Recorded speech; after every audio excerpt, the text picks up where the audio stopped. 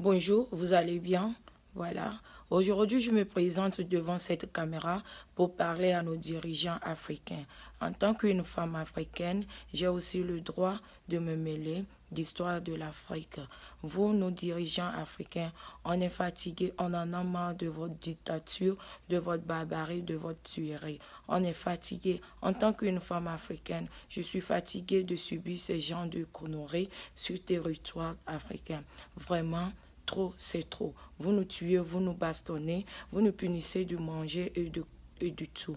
Qu'est-ce qu'on a fait? On n'a rien fait. En tant qu'une Africaine et en tant qu'une compatriote africaine, je tiens à vous dire d'arrêter, d'arrêter vos barbaries, vos dictatures et tout. Voilà, c'est ce que j'ai à vous dire. Pitié, pitié, car l'Afrique appartient aux Africains. L'Afrique appartient à toutes les fils d'Afrique, à tous les Africains. Voilà ce que j'ai à vous dire, que ce soit mon propre pays, le Togo, la Côte d'Ivoire et qu'on sort au Congo. Pourquoi vous nous tuez? Pourquoi vous nous bastonnez? Pourquoi vous nous punissez? On a fait quoi? Non, on n'a rien fait. On a le droit aussi de jouer tout comme vous. Voilà, en tant qu'une femme africaine, c'est tout ce que j'ai à vous dire, surtout les dictateurs.